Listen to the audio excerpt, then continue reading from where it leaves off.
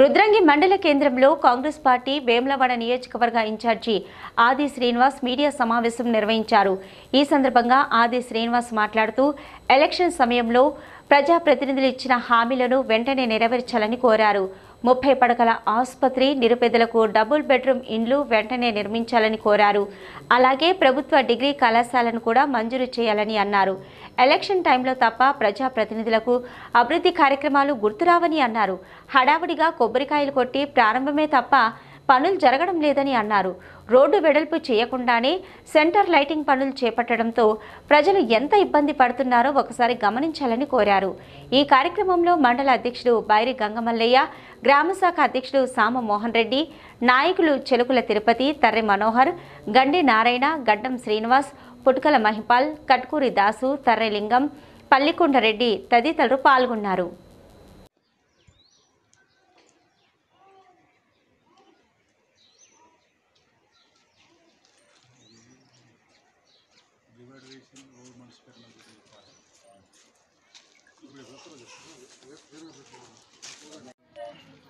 రుద్రంగి మండల కేంద్రంలో వేములో నియోజకవర్గంలోనే అతిపెద్ద గ్రామమైనటువంటి మరి రుద్రంగి ఇప్పుడు నేడు మండల కేంద్రం కాబడినటువంటి ఈ ప్రాంతంలో ఈ ప్రాంతంలో ఉన్నటువంటి పాలకులు ఎన్నికల కంటే ముందు ఈ ప్రాంత ప్రజలకు ప్రజారోగ్యానికి అవసరమయ్యే ముప్పై పడకల ఆసుపత్రిని తీసుకొని వస్తామని చెప్పని హామీలు ఇవ్వడం బహుశా పదహారు పదిహేడు సంవత్సరాల క్రితం కూడా మరి కొబ్బరికాయను కొట్టి ముప్పై పడకల ఆసుపత్రిని చెప్పినటువంటి మాటను ప్రజలకు నమ్మబలికి ఆ తదుపరి విస్మరించినటువంటి వైనాన్ని తప్పపడుతూ మండల కేంద్రమైంది. పక్కనే మానాల గ్రామంతో పాటు అనేక గిరిజన తండాలు కొత్తగా గ్రామ పంచాయతీ అయినటువంటి గ్రామాలు కూడా మరి రుద్రేం గ్రామానికి రావడం పక్కన ఉన్నటువంటి గ్రామాలు కూడా అనువైనటువంటి ప్రదేశంగా ఉంది కాబట్టి ముప్పై పడకల ఆసుపత్రి వెంటనే ఈ ప్రభుత్వం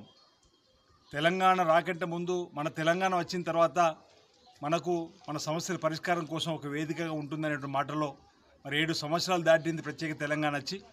ఇక్కడ ముప్పై పడకల ఆసుపత్రి రాకపోవడం ఒక విడ్డూరంగా భావిస్తుంది మరి పాలకులు ఏం చేస్తున్నటువంటి మాటను ప్రజల పక్షాన ప్రశ్నిస్తూ వెంటనే ఆ ముప్పై పడకల ఆసుపత్రిని మంజూరు చేసి డిమాండ్ చేస్తున్నాం.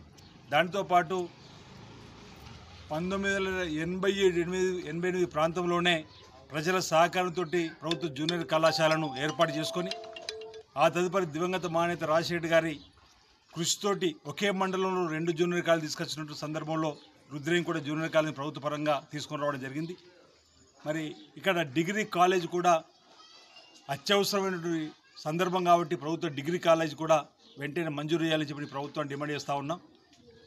ఎప్పుడు ఎన్నికలు వచ్చినప్పుడే అభివృద్ధి పథకాలు గుర్తుకొస్తాయనడానికి నిదర్శనంగా ఇక్కడ సెస్ ఎన్నికల్లో మా శ్రీనివాసరెడ్డి గారు ఆ సందర్భం నిలబడ్డప్పుడు ఈటల రాజేందర్ గారిని అప్పుడు మంత్రిగా ఉన్నాడు అడావుడికి తీసుకొచ్చి డబుల్ బెడ్రూమ్కు మరి భూమి పూజ చేసి ఇక ఇచ్చినట్టుగానే భ్రమలు కల్పించే చేసి ఆ ఎన్నికల్లో కూడా లబ్ధి పొందిన తర్వాత ఆ డబుల్ బెడ్రూమ్ ఊసేయలేనటువంటి పరిస్థితి. దళితులకు మూడెకరాలు అన్నారు లేదు. అంటే ఈ విధంగా చెప్పుకుంటూ పోతే నిరుద్యోగ యువతకు నిరుద్యోగ భృతి అన్నారు ఇంటికో ఉద్యోగం అన్నారు. అనేకమైనటువంటి మరి హామీలు ఇస్తూ అధికారంలోకి వచ్చిన తర్వాత మర్చిపోతున్నటువంటి వైనాన్ని తప్పపడుతూ రుద్రంగి కాంగ్రెస్ పక్షాన ఈరోజు ఈ ప్రభుత్వానికి డిమాండ్ చేస్తా ఉన్నాం. వెంటనే మరి మీరు ఇచ్చినటువంటి హామీలను ఈ ప్రభుత్వం అమలు చేయాలి.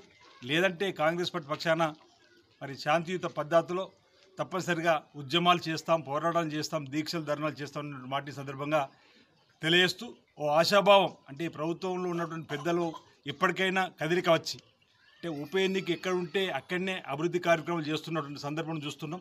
ఇప్పుడు గతంలో దుబ్బాక హుజూర్ నగర్ నాగార్జున సాగర్ ఇప్పుడు హుజురాబాద్. హుజురాబాద్ ఎన్నికల దృష్టి